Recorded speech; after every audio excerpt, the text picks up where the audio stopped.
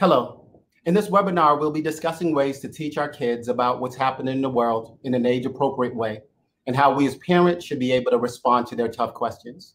Children are never too young to learn about diversity, but how you bring up top, but how do you bring up topics of racism, injustice, especially to younger kids? We're not experts, and we have not written any books about this. But as a panel, we're sharing out of our personal experiences as how we broach this subject with our own kids. The discussion will be a conversation based on selected questions submitted by both panel members and also those who have registered for the webinar. We hope that this time will be beneficial and will provide you thoughts, insights, and practical tips. Let's meet the panel.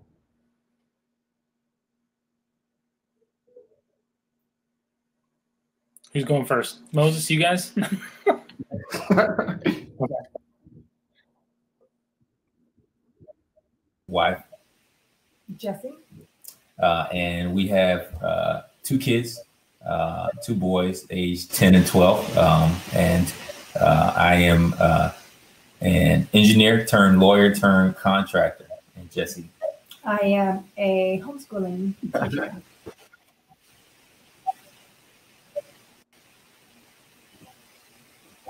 Uh, my name is Brian, and this is my beautiful wife, Oh, Christy. I was gonna say, are you gonna say my name? Uh, we've been married for 12 years. Uh, I'm a pastor at Grace Church, um, and we have three kids um, almost a three year old boy, and then a five year old daughter and a seven year old daughter. Um, and then two years ago, Mhm. uh, we had a, how old was she when she moved in? 18, 19? Yep, she had just graduated high school. Yeah, a 19 year old uh, biracial girl that moved in with us and now has become part of the family uh, two years ago. And uh, we're the Browns. Um, my husband Kevin, um, and I'm Joanne. And we have two beautiful children. We have a 13 year old daughter and an 11 year old son. Um, I'm an educator and elementary uh, school teacher by trade. And I'm the director of um, operations and QA for a software company um, in Boston. Um, so we had a we had a bunch of questions um, that um, we we looked about and and, and were actually suggested. First question that actually comes up um, that we want to um, um, broach as a uh, a panel is when was the first time you recognized race? When did it become apparent, and how did it impact you? So, I mean, I don't mind starting. Um, for me, um, it was in kindergarten, um, and I was at school. My mom was picking me up uh, from school one day, and my best friend turned to me as my mom um, pulled up and said, "Why, um, why is your mom black and you're white?" So, just let me back up and give you some context. Um, I'm biracial. my mom is Irish American. My dad is African. both my birth, those are my birth parents. But I was adopted as a baby by two African Americans and raised um, by them. And so, you know, that was the first time that I really recognized that there was a difference. So when I got in the car, I said to my mom, I was just like, Mom, you know, she just said to me, Why are you white and your and your mom's black? And my mom said to me, Well, you know, you're just light skinned like your father. And so my father is a light was a light skinned African American um, uh, man, and my mom was a dark skinned African American woman. And so that's how she kind of explained it to me. Um, but you know, as I grew, she later explained that I was adopted, and she told me about my birth parents. Um, and that's when I really started to deal with colorism. Um, and you know, in, in in my community, in school, and everywhere I was, there was always this: well, you're not white enough, and you're not black enough. And so I, I kind of dealt with those kind of issues, and really, and it impacted me in that way throughout my schooling up through college. Um, and so for me, that that's where I first recognized it, and, and that's how it impacted me. Okay. Uh, for me, I, I grew up uh, on a military base, and so uh, all through elementary school. I mean, I noticed that there were different races, but not any sort of racism until I was in uh, until I was in seventh grade, and then uh, I switched schools um, off the base, um, and that school, the the elementary school on base was super diverse. All my friends were different, everything. Um, but then in middle school, the school was not diverse at all, and so uh, there were some racial jokes and stuff for the first time that I was really like, "What are you talking about?" And that was the first time I really encountered racism. I think um, for me, it was around middle school as well. Um, the town I grew up in was a very small community with no diversity.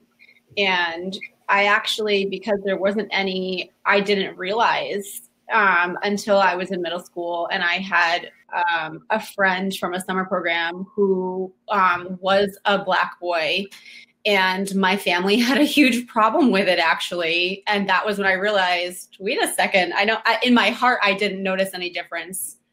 But then their response to our friendship was confusing. And so was, i think i was in sixth grade or seventh grade then. Okay. moses jesse?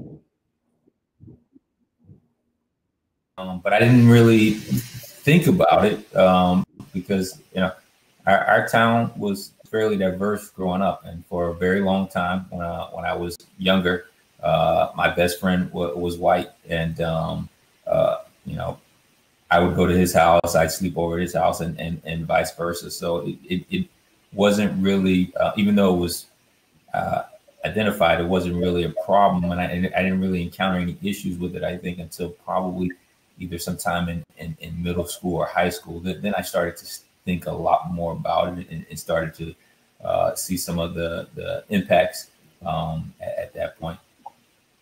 And for me, I would say I was about maybe 13, uh, maybe 14. We moved from our neighborhood, which was very diverse, into a neighborhood that was not diverse. And um, the neighborhood that we moved to made it clear that my kind um, and anyone that looked like me or any of that um, was not welcome. Um, and this was in the 90s. And in that community, um, kids were still being bused to the high school because they were not able to walk to school because um, there was a lot of rioting, uh, words being said names being called and yeah it was also confusing and scary at the same time. And that you know my friend just people who look like me were not walking in the neighborhood so yeah.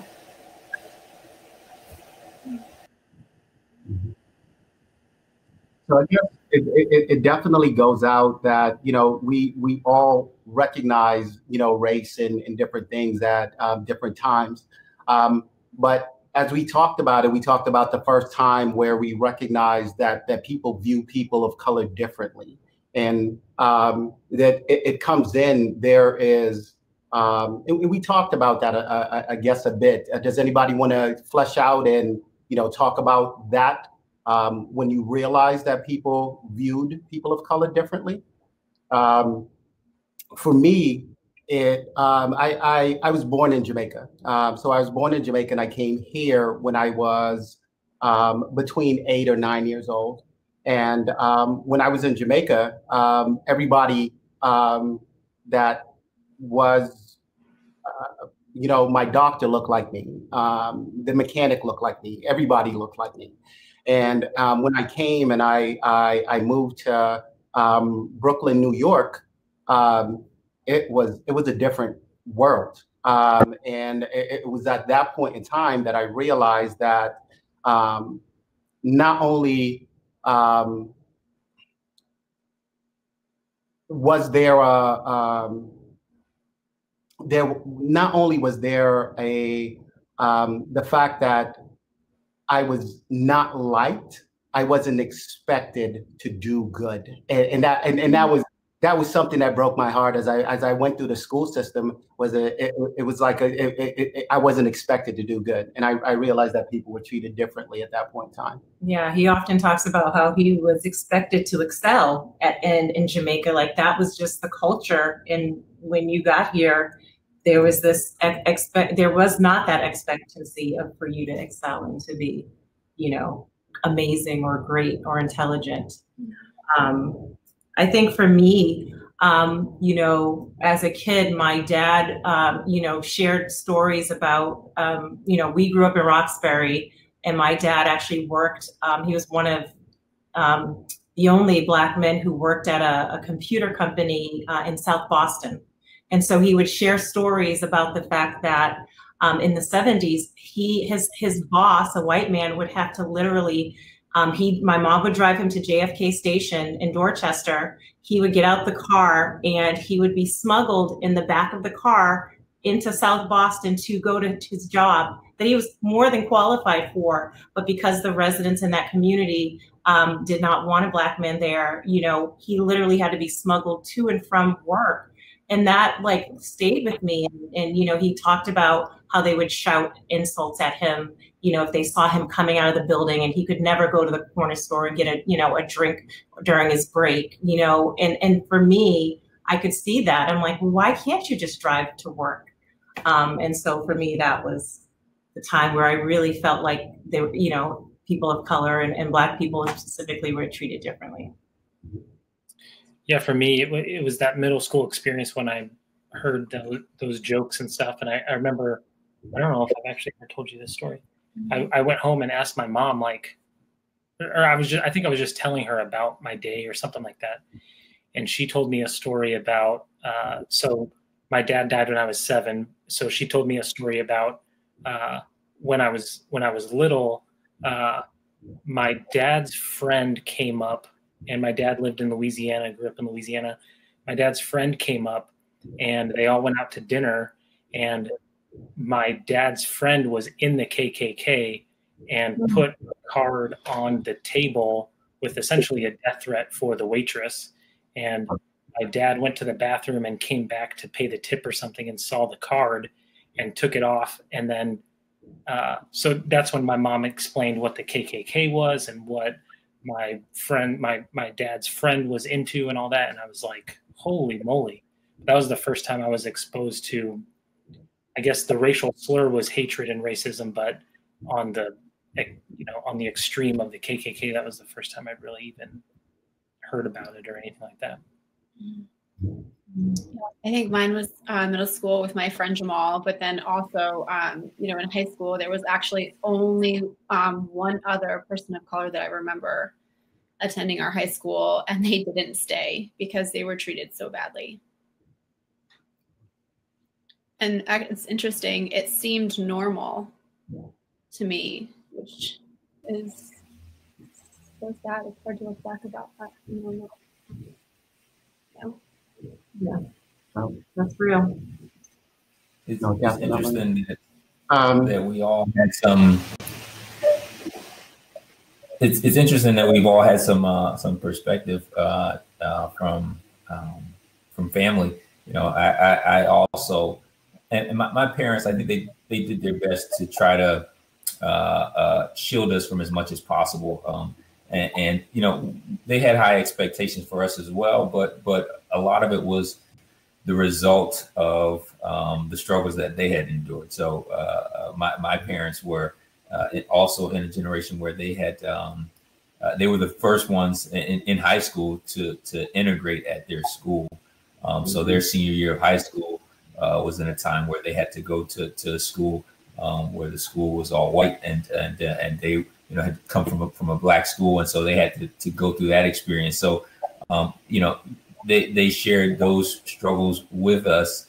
Um, not not so much to um, uh, to, to make us uh, fearful, but just to let us know, you know, the kind of things that they had to to deal with and, and overcome. And, and similarly, my, my dad, he, he became a police officer um, after college, and, and, he was in a situation where um, he uh, he was the first black policeman in our county, and um, you know, and, and, and he dealt with with racism even at, on the on the police department. And so, um, again, I don't think he he uh, there, there were some really serious stories that, that he shared with us that you know at the at the right time, you know, they, they would have made you scared, but his his intention was not to scare us by telling us that, but it was to to inform us and to let us know about the thing that that he had overcome, um, just to know, you know, uh, as you as you move forward, the sort of the expectation is that you can be an overcomer. You're gonna face challenges, but you can be an overcomer. so, um, just even as a parent, that that's sort of the the kind of perspective that I try to put on. And I, I don't want my kids to be fearful, but I, I do want them to be able to to to lean on everything that's been uh, gone through, just just to help make them uh, more um, uh, to make you stronger. Mm. No, definitely makes sense, and it, and it, it talks about it, it, you know, not for it to be fearful. You know, it's more for you to be aware, right? You know, our, our kids need to be aware. Um, you know, we talk about it with the fact that, you know, we tell our kids all the time that they need to be circumspect. And that means that you're aware of everything that's happening around you at any given point in time. Um, so given that with the, the time and um, the, you know, the fact that people need to be circumspect, what is prompting the need for the discussion on race now? You know, because as, as we go through, it sounds like race is a discussion that is happening, or the discussions about race are happening all the time. But what about the time now that is, is bringing in the discussion for race? Yeah, for us, I mean, this wasn't something that we really ever thought about talking to our kids about. Um, and now with uh, the girl who joined our family, uh, she went to the protests in Boston and you know she was making signs or a t-shirt or something like that. And our seven year old was asking what what does that sign mean? What what happened? What why are all these people going into boston? Why are all these and so that night um, she stayed at the protests longer than she should have and she uh, was in she got tear gassed essentially and called us um, and we have like a an app, a location sharing app on our phone, and so I was able to see where she was, and I, I pulled up the live news reports, and I could see where the bad stuff was going on, and I was trying to get her out of it. Um, meanwhile, I didn't know, but our seven year old was awake in the bedroom and was hearing everything. Mm-hmm. Um, so I had her on speakerphone, and I was telling her where to go, and uh, and Christy was was there talking to my seven year old trying to trying to filter what she was hearing from the news and the, and and on the phone and so mm-hmm. um fortunately our kids have had a very different experience than what i grew up having and even brian i mean they have grown with diversity all around us i mean our neighborhood is a, a, a, representation of the world. You know, our our we, we, communities yeah. are intentional, and um, you know, from birth they have had such dear friends and family members, and we have had to them. Uh, you know, we actually have a fond memory of of Evie. Um, and and a friend's child just sitting across from each other you know just playing with each other's hair and you know just appreciating how different the, each of them were made by God and just wow, your hair is beautiful, but I love yours too.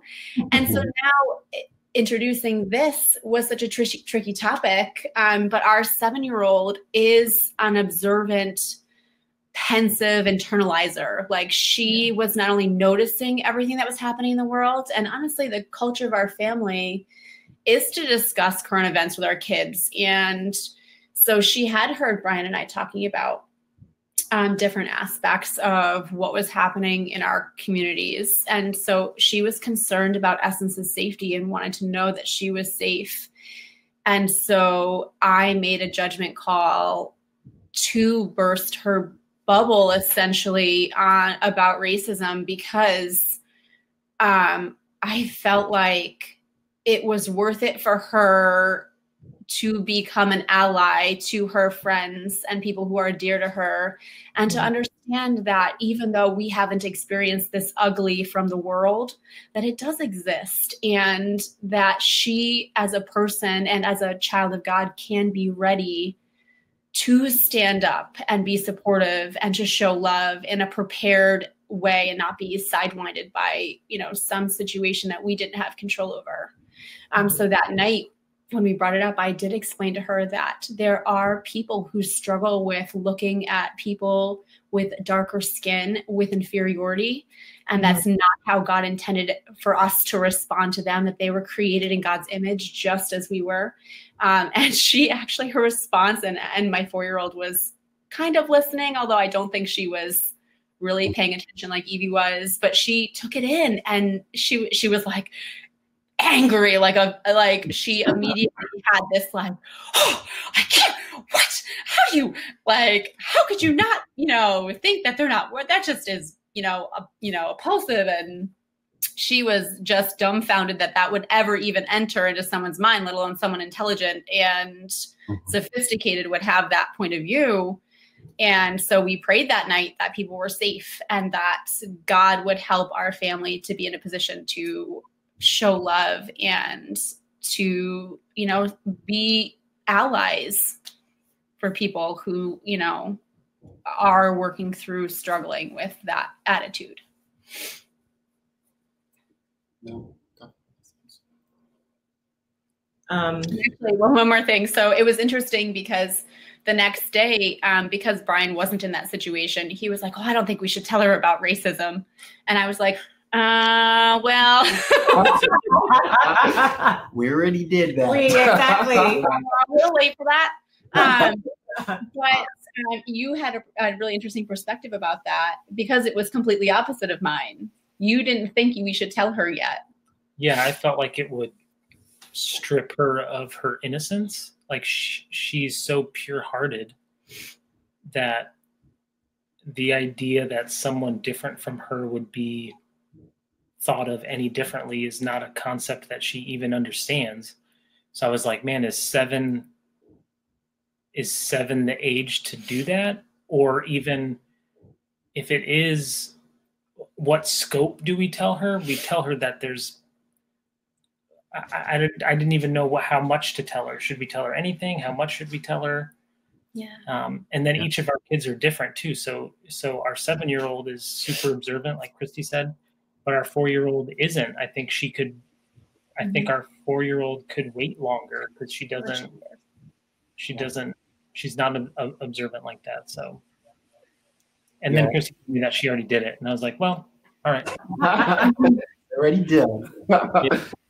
So it's I, interesting, uh, Christy, that that you refer to it as as the bubble bubble being bursted because I mean I mean, it, it, it really is that, right? So, um, you know, we, we, we debated a bit as well. It's like, okay, at, at what point do you have this conversation? Because, I mean, you, you, you want to preserve the innocence and, and, and the purity um, of, of, your children. Um, and, and, so for, for us, I, I, feel like we, you know, everything that's happened recently um, didn't spur the first conversation um, but but it did it did further the conversation.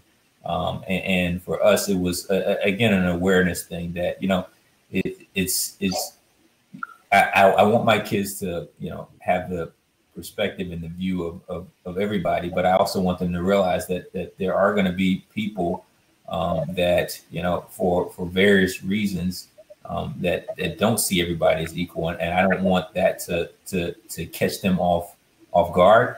Um, and, and, I also don't want um, uh, to, to put them in uh, harm's way because they're not aware of that. So um, the incidences that have happened recently with, with George Floyd just just sort of furthered that conversation. But it's always a question of okay, um, how, how, much do you say, um, and, and, how do you how do you say it in a way that that doesn't create uh, fear or anxiety for them?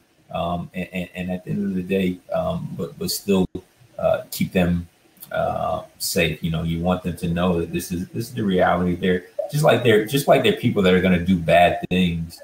Um, they're going to be people that that have um, perspectives that that don't align with, with yours or, or with God's. Uh, but at the same time, even though they do that, um, just like God, God wants us to, to love everybody. So that that that's the spin that we try to put on it at the end of the day. It's just like you know, the people that do bad things, right? So there are also going to be people that um, view you differently, and just because they do that, that doesn't mean that that you know that you have to do the same thing back to them, um, or that you should feel any any type of way to to certain groups of people. You know, God wants us to love everybody, but at the same time, you have to be aware of that so you don't put yourself in in a in a in a bad situation, or that you don't get caught off guard if, if it does happen. And we've started this conversation with them since I would say probably kindergarten when they first started school. That's when the conversation first started, and um, and it's progressed through the years. We probably started with just the basics, and and now we can get a little deeper with them because they are ten and twelve. Um, but it's still heartbreaking to have to have these conversations with our two boys. Um, yeah. So I'm I'm curious. How did you broach the subject the first time? Like what? I mean, what yeah, did you I, actually say? Yeah, I can speak to that. I think mm-hmm. the first time that you know I realized that um, our 13 year old recognized race and recognized the difference was when she was in pre-K.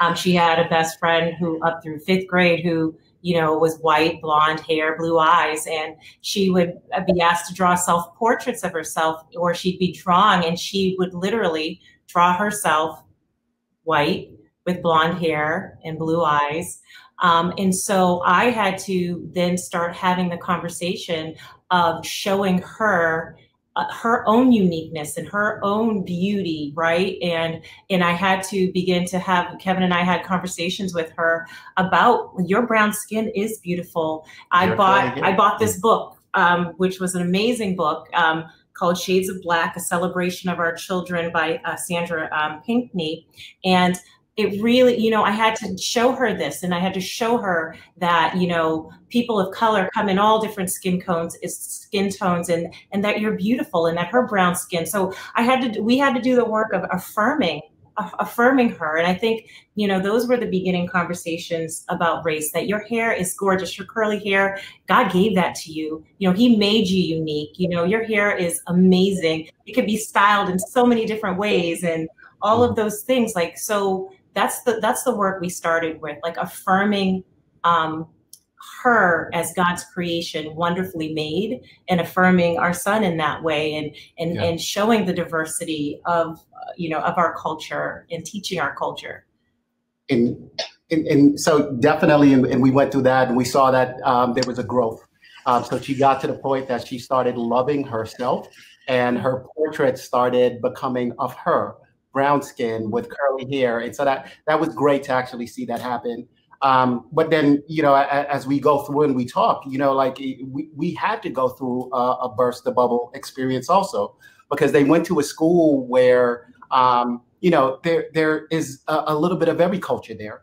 And um, around the time uh, of, of Trayvon Martin, um, as that was just going through the uh, through the media, um, we had to have the conversation with our son Quentin, um, and um, that it, it, it, was and and and as we talk about this, right? Every time we have a conversation with the with a uh, with our children, it has to be not just age appropriate. It also has to be child appropriate. You know, everybody's talked about their child and they know who their child is. So when you have that conversation, make sure that you're talking to your child and it's appropriate for your age, but then also who they are. Um, but we had to have the conversation as we went through with Quentin to let him know because he kept on asking. He was asking about Trayvon and he was asking um, because it was in the news, it was in their school, it was in everything. We had to have that conversation to say, you know what? Your friends love you and they're of every culture, and that is wonderful. But you're going to run into different situations where people are not going to like you, and it's for nothing that you have done. And um, this is a kid who um, he, we nickname him the mayor because you you throw him out there in the wild and he's coming back with penguins as friends. Exactly. You know, it, it's just that's you just put him in any social situation and he knows everybody in the room and he started a new game. Agreed, right? So like, you know, so that spirit in him, we didn't want to kill to that break it, exactly. or break that spirit. Um, but we had to tell them the reality of this world that as brown and black men, you know, you will be targeted. Um, and we, you know, that, you know, people will follow you around in the store um, because they might think that you uh, stolen something or judge you based on the color of your skin or not think that you are brilliant or intelligent or smart or, you know, so we, we had to yeah, share and, that. and, and he was about um, Trayvon Martin. Um, was that two, three years ago? yeah. Um, so he's around seven, eight, Eight years, years old, which was you know tough, very tough age to you know start broaching that topic. But it was also making sure that that that he was aware. Um, so a, as we so we we've gone through and, and we've talked about you know um, how we're discussing race and I, I think one of the things that we definitely need to, to bring up here is is God concerned about race? Right? It it, it, comes back to the whole thing. You know, it, it, it's it's um, you know uh, the the world seems to be concerned around race so much, and you know there's so much um, issues and problems that have come out of hate from from one to another. Um, but in in this scenario, is God actually concerned about race?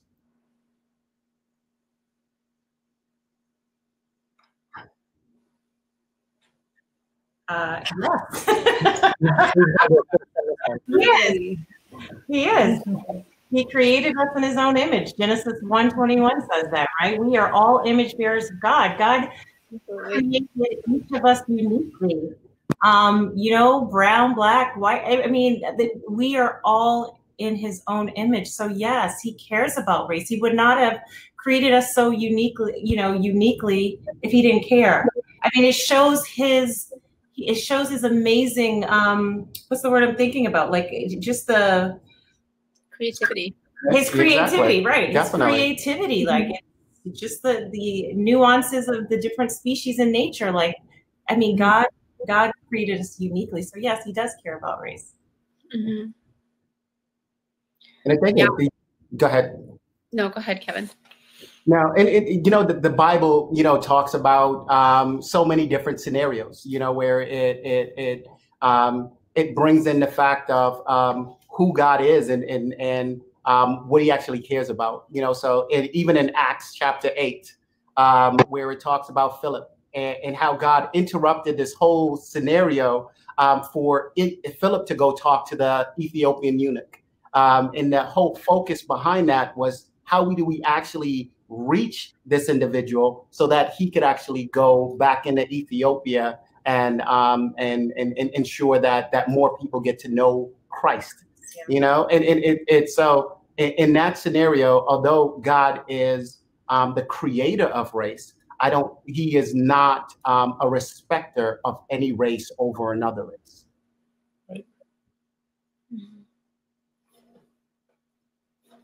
I was just going to mention that we homeschool as well, and we spend a lot of our time out in nature.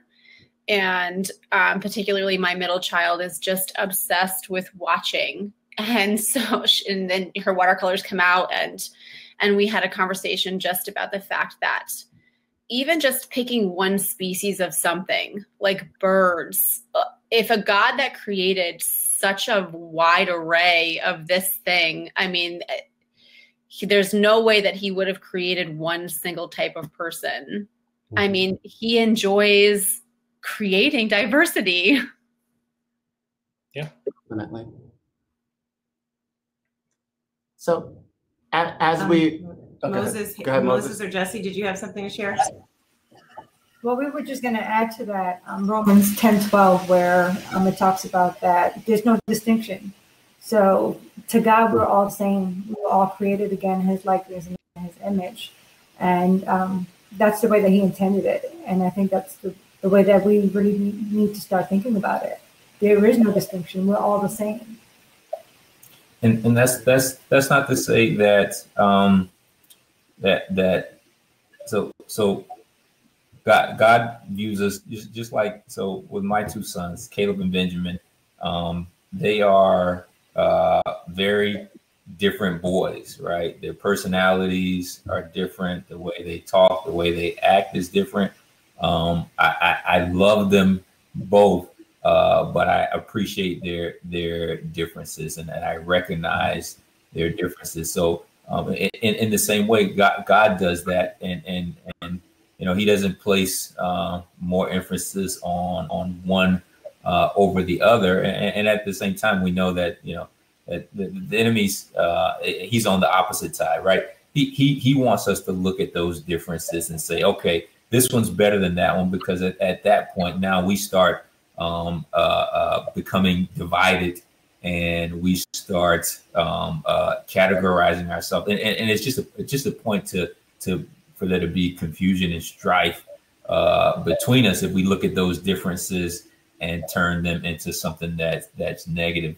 And so, um, uh, you know, it's just that just the opposite of, of, what God does. He looks at the differences and sees them as positive. He looks at them and says, okay, these are the ways that these things can be put together and, and made into something that's even more beautiful, as opposed to separating them out, um, which, which, you know is something that is is done by by man. It's a man-made construct to, to separate them out and and then use those uh, differences uh, against each other. So um, uh, that, that, that's sort of the perspective that we have on it. And and if, I mean, truth be told, racism is sin, right? It is it is sin. Um, you know, it does not please God, right?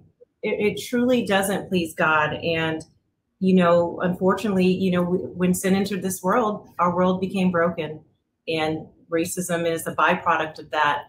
Um, and it, it is not pleasing to God. And, and He calls us to love one another, right? We love Him first, but love one another as we would love, um, ourselves. love ourselves, right? And and so if we are showing racist behavior, we are not loving each other in the way that He intended us to. Mm-hmm.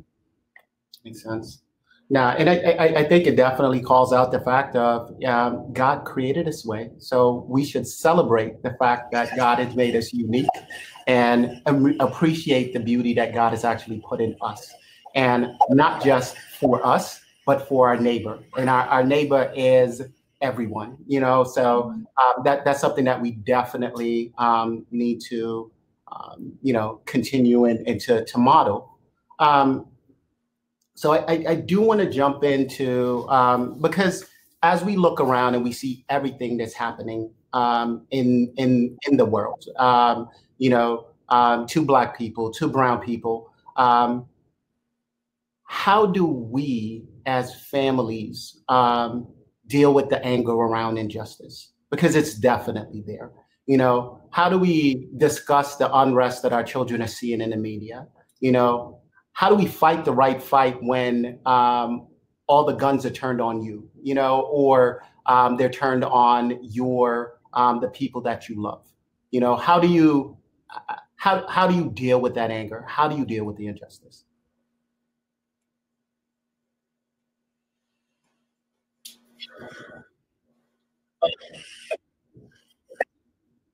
Black man um, in, in America. I mean, when when when you see the things that are that are going on, um, it, it, does create a, a, a, new level of of anger inside of you. Um, you, you, you you you feel that you know that that you are being targeted, and and you know, I I can I can count numerous times that that personally that that I've been pulled over for for you know not having violated the law and and haven't been given a reason for why I've been pulled over, uh, other than being told that um, basically that I, that I look suspicious. Um, and you know, it, it's it's created some some fear, but it also has created anger. Um, and, and, I didn't realize I didn't really appreciate that until I got into college, um, and, and I got pulled over with a group of friends, and um, you know they they all went into a certain mode, and I, because I had grown up I guess maybe a little bit more innocent, a little bit more aware in the South. I didn't even realize what they were doing, but they were preparing themselves for an, for an encounter with the police in, in a way that I, I wasn't aware of. And, um, you know, uh, so some of those conversations begin going at that point, but um, but it also made me um, uh, it made me upset.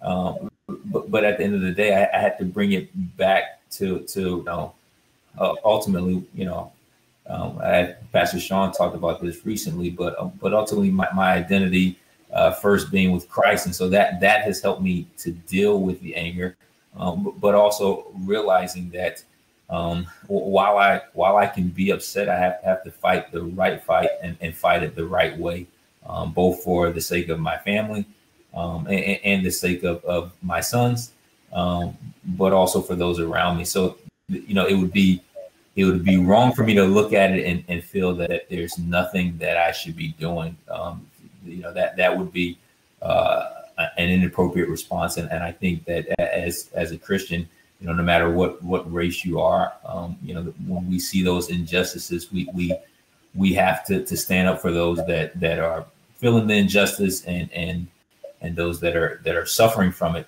Um, but but you know, I, I've certainly had to pray. You know, God, God help me not to be angry. God help me um, not to hate my brother. God help me not to look at people and say, you know what, um, uh, let me not let, let me not group them all in the same category because you know that's exactly what the enemy wants me to do. He wants me to to look at it and say, okay, um, this guy is, is white, and if somebody who's white has done something to somebody that's that's black or brown, then I should be upset at them and I should be angry at them and I shouldn't trust them. And, and, and you know, I, I know that, that that's not what God desires. So ultimately, for me, at the end of the day, I just had to keep bringing myself back to the scriptures and reminding myself of, of what God wants me to do as, as a Christian, and that that's love. And so it's also caused me to be more open um, with uh, people of, of, an opposite race. So to be more open with people that are white, so that we can have conversations, so that I can share with them my experiences and they can share with me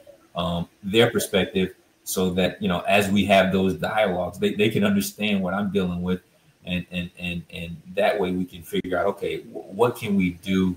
Uh, how can we work together to to to deal with this? And I, I think that helps me deal with the anger. Um, you know, I think, you know, how to just, you know, our kids are 11 and 13, and so they are seeing the media. You know, we try to limit as much as possible, um, but, you know, they're exposed, they, they know what's going on. Um, but, you know, having the conversation with kids about, you know, people are hurting, right? You know, when I saw the George Floyd video, like I wept. I was heartbroken because that could be my son, that could be my husband, that could be my daughter, that could be me. I just, it really broke my heart. And I think we have to, we have to, you know, yes, yeah, that anger can, like, like you said, Moses, right? That anger can, can um, sow seeds of bitterness, but you do, you, you I, I had to pray. I really did have to pray. But, you know, people, we're going to go through the, the, the range of emotion, right? Heartbreak, sadness, anger, right? Um, lament like we're gonna we're gonna do we're gonna do that and that's natural. Um, but i think you know discussing that with children to say you know you know brown people and black people have been treated unfairly and they are trying to you know protest and stand up um, and say that enough is enough and that we need to be treated equally. Um, and you know sometimes people get angry and you know it, that's okay that people are mm-hmm. angry it's okay Agreed. to be angry and and you I think bringing it to like if how do you respond to injustice, right? So if mm-hmm. it were your family member that something unjust happened to, how would you respond to that? Like I think asking that question, like you would be angry if it were your brother who, you know, um, you know, got pulled over or, or got shot or whatever it is. Um, you know, and just really like bringing it home to like it's natural to feel these emotions, right? And, and, it, and it's okay. And it's you know, okay. It, it, this is, I, I, think a lot of the times it, comes back. It's okay to be angry, but I, I did, you know, echoing off of what, um, you know, um, um, Moses. Moses. said, it's, it's when it festers, mm. right? You don't want it to fester and um, to form into something, but you have to use that for positive and you know um, it, it's not about becoming insular right um, and, and, and just trapping yourself in, you know, oh, we're we're just going to be around our kind because around our kind we're safe. That is not the way that it goes because God made our kind, right? And so everybody is our kind, and so that means that anytime that it gets to this point, it's it's um, it's education. How can I help the people around me? You know, how do I have that conversation with my neighbor um, when saying something that I don't agree with? You know, how do we, um, you know, um, look out for each other? How do I, you know, do I know all my my um, my children's um, um, friends' parents? You know, it, it, it's all of these things that you know, not about getting insular, but actually spreading out to make sure more people are actually aware. Mm-hmm. I think for us, um, this brings up a huge talking point on our side from a different perspective, though, because part of the reason why we I did choose to burst the bubble for us um, was because we want to coach our kids to be ready so that when they see the anger and they see the lament and they see this happen, it doesn't catch them off guard and they do nothing, but then they are in a position to empathize and support and love and be bold and stand up to help educate others as well so that these situations happen less and less. And you know even though our kids are so young i think um you know we had discussed as a group too that they it doesn't necessarily have to be a conversation. It can be modeling like um mm-hmm. kevin you had mentioned you know having relationships in our lives where we our kids see us having tough conversations and being bold. And you know we see injustices ourselves doing that hard thing in the grocery store or wherever we might see it um, mm-hmm. even if the, the people aren't directly connected to us um, so that our kids are taking it in and learning how to love in a bold way that is uncomfortable even but it would bring about love and support to those in their lives definitely and I think that that brings us into that the the whole topic of of allies, right? Um, how, how can we be uh, better allies? You know, what what are what are the things that we could actually do um, to be able to attack these circumstances? We we everybody here on this panel, as we talked about the first time that we actually saw um, what happened, um, that that um, a person of color was considered less than somebody else you know, we had we had a, a barrage of different stories, and um, how if we teleport back to the past, you know, how do we be a better ally in that situation? How do we bring that to our kids now and um, make them be aware of that? I think just, you know, I think it's important to um, listen um, to acknowledge the experiences of people of color and what they're going through um, and empathize. Um, I think, I mean, that's the beginning, just listening, not brushing it off like um, it doesn't matter because it's not happening to me. I think, you know, silence sometimes sends a message that, you know, it's not my problem. But like christy said being bold enough to speak up like that's what you you you need to do right? And to to say something if you see it. Um i think um you know we we have to come at it from the perspective of like what would you do on behalf of your own flesh and blood if it were happening to your own flesh and blood? Like just be just or putting yourself in the shoes right? Like stepping into the shoes. And and and sometimes that means just just sitting there and listening and and being a you know a person that they can just just talk to. And and you can ask questions you know um, i think those are that's the first step yeah okay, so i have i have a i have a question as a white guy okay mm-hmm. uh so i have friends that are all different colors and watching their Instagram, I almost get mixed signals, right? Some people say listen, some people say stand up and say something.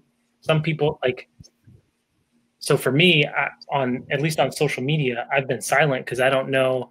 I feel like if I say one thing, then I'm gonna anger this group of people. If I if I stay silent, I'm gonna, you know, be complicit in whatever's happening. And so, like for me, I don't know what to do in that situation. So what? I don't know so, if there's a right answer or not, but no, that that is an excellent question, and, and truthfully, it is do what your heart is telling you to do. Mm. You know, because truthfully, this is what happens. It's it's it's the fact that um, so it's it's my brother, right? So I I am going to do what I feel in my heart is right for my brother. So if I am being prompted to post something, I am going to post something. Um, if I um, need to listen for my brother, you know, it's, it's kind of like it's, it's a relationship, like, um, you know, a, a relationship with, with me and my wife, right? There's sometimes where she wants me to fix the problem. And then there's sometimes that she wants me to listen to the problem. sometimes you get it wrong and you try to fix when you should be listening, and then it all just blows up in your face, and you're like, "What?" exactly. no, but I, but I think I, I think Kevin's right. Doing what your heart feels, but also uh, showing your solidarity uh, and speaking up and being bold. Um, I, I think is is important. Yeah and, and, it also comes back at its relationship, right? Um, a lot of the times um, there is um, there's a feel or a need that I need to do something publicly, right, in order to um, make it right or, or to justify something or to, or, or to, to sign off. And, and, and truthfully, what, what happens is that it's a um, it's a relationship thing.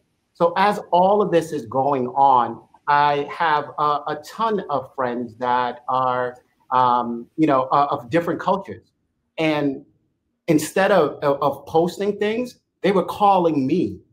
How are you doing?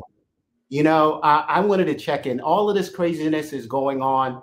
You know, how are you doing with all of this? You know, what can I do to help? You know, and and um, it's it's varying things you know, you could actually go and you could um, donate to the Justice League.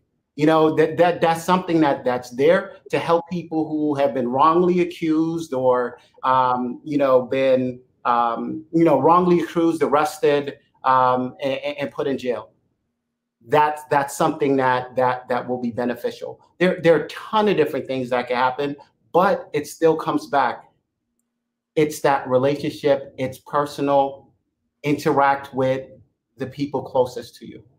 And if you feel inclined to, to have to post something um, in so- solidarity, that's all in your heart. It's what God is prompting you to do. So hopefully that was beneficial in the answer. yeah, yeah. Agree with, with what Kevin said at all. Um, uh, you, have to listen in your heart, and, and and when when you when you're when you're concerned, you know, um, should I not do this? I, I, guess you have to ask yourself um, wh- where where the concern or, or the fear mm-hmm. um, comes in at. Um, the you know I, have I've had more of my white friends post things recently um, than, than ever before, and um, particularly for the ones that that I have um, relationships with. Um, even you know, I have a friend from from law school um, who, who I saw, and, and and the fact that he, he was angry about this and, and was willing to post it, it just just lets me know that you know this is somebody who who, who if he saw it happening to me, right, I, I know that that he would have my back and that he would be upset about this as if he were my actual actual brother.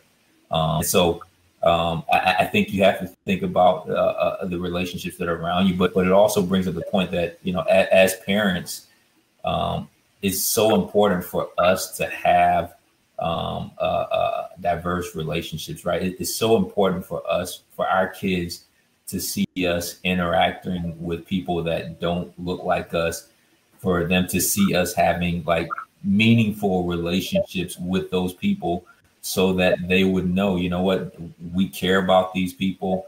Um, if something happens to them, uh, we're going to be there for them. We're going to do whatever we need to do. But also on the other side of the aisle, so that they can know, you know what, um, uh, uh, there's love there, right? Um, if, if, as a black man, if if if my kids see me having meaningful relationships with somebody that's white, you know, then then that helps deal with the anger issue. That helps deal with with okay, that helps deal with the trust issue. Can can can we trust uh, white people? Can we trust people that are Hispanic? Can we trust people that are Asian American? Well, my my parents have uh, meaningful relationships with those people. These are the things that they do with them. Um, so, in, in addition to sort of helping inform you know how we should respond on social media and other outlets i think that having those meaningful relationships um, will, will really have an impact on our kids you know um, in, in, a positive in a positive way. So we have to i think we have to go out of our way um, to make sure that uh, all of our friends don't look exactly like us just for the sake of our kids right? They, they need to see us having meaningful relationships so that they can know that they have a model. This is what it should look like um, in, in, in the ideal case. And I think that makes it easy for them. And, yeah. I, and to piggyback on that, I think, you know, having those, being okay with having the honest conversations and the uncomfortable conversations, because it is going to feel uncomfortable. Talking about race um, is going to feel uncomfortable, you know, at first. But if you continue to have those conversations um, and educate yourself um, and become an, uh, you know, an ally, then then that uncomfortableness will go away, right? Um, and so I think on the other hand, like I think also as we're having these conversations that, you know, um, to, to be an ally, we can't just, you know, we can't um, use the words like, you know, oh, I'm colorblind or I don't see color or, you know, we're all equal because that's not, you know, that's not true yeah. Right?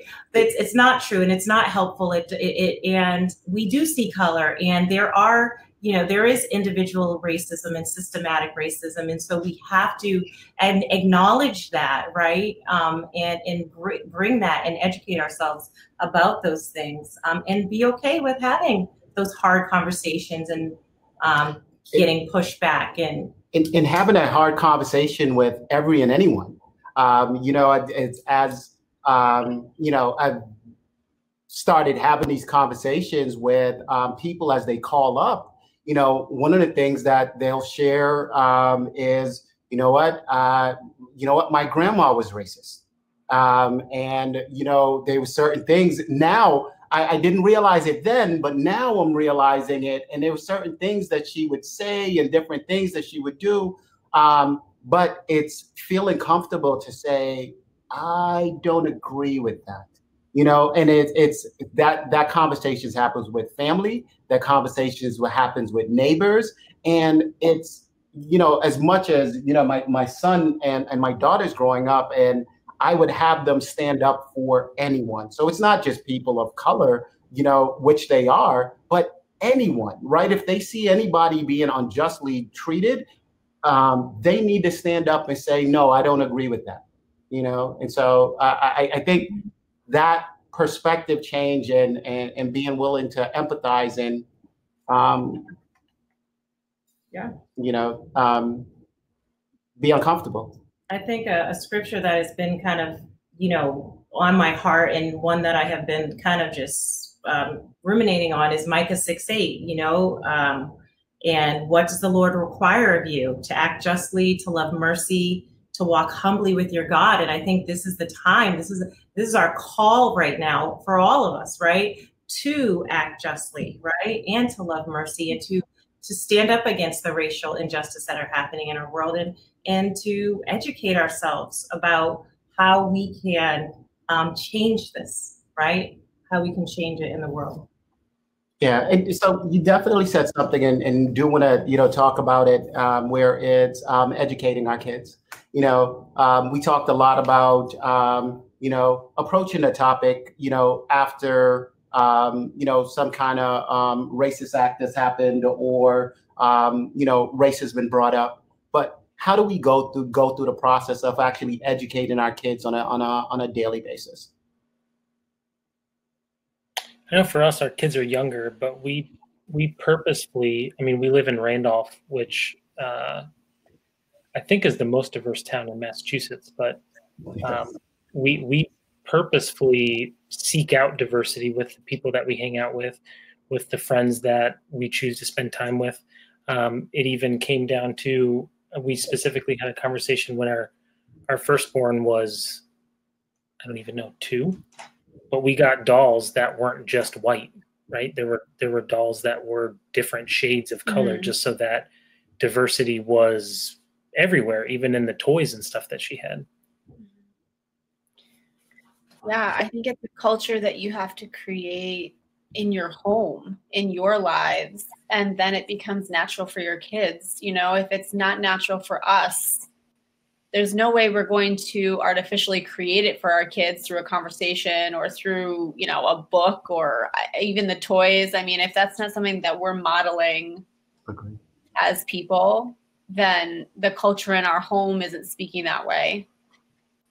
So but yeah, I, yeah, the dolls and um, yeah, I stories and honoring people of diverse backgrounds, not just famous white people, um, has been a habit in our homeschooling curriculum too.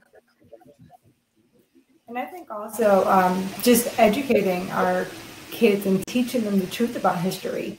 Mm-hmm. Um, oftentimes, we just depend on school to teach them about history.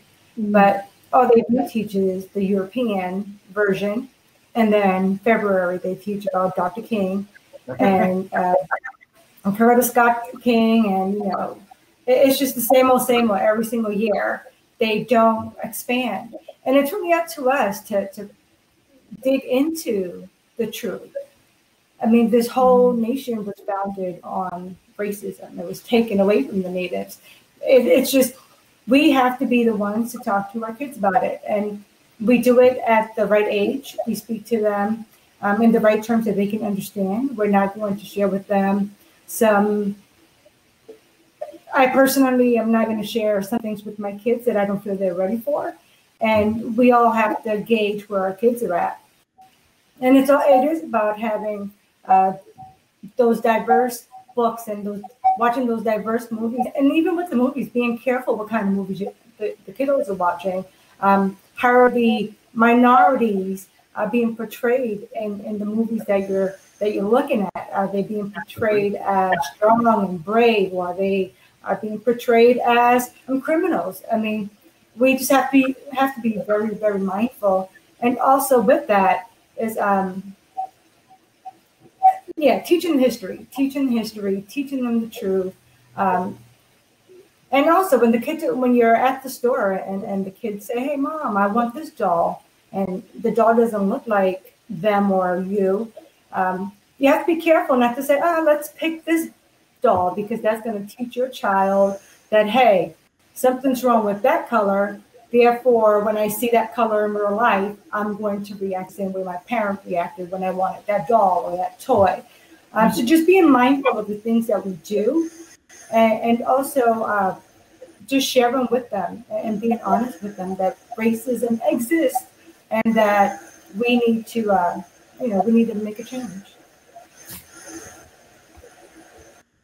Yeah, we definitely talk about, yeah, in our house, it's, it's exposing to books so books and in, in, different movies and, and making sure that um, the characters that they're um, that are there are you know it, it, it, comes back to exactly what you said jesse they're not typecast right so you know um, I, I could you know we we go through we actually um, read a um, a um, a audiobook um, last summer. I, I listened, uh, yeah, I listened to an audiobook um, about the new Spider-Man, and the new Spider-Man um, was brown in a sense, and and my kids just loved the fact that it was there, and, and they got into that story. But it's it's ensuring that you get to the fact of, um, you know, killing the narrative.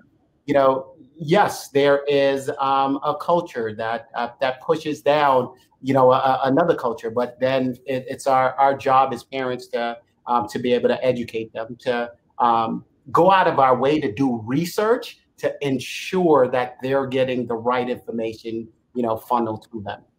Right. The Bible says train up a child in, um, in the way um, he should go, right? And when he gets older, he will not depart from it, right? And so we really we're called to lead our children not only spiritually but then educationally as well right? We're we're so concerned about how they're educated in school right? But we also need to educate them about race and and, um, like jesse said about like the, the history of it. You know we need to do our part as parents and you know our home is filled with a ton of books. And there's like you know books that kids can read at different ages and just making sure that that literature is in your home.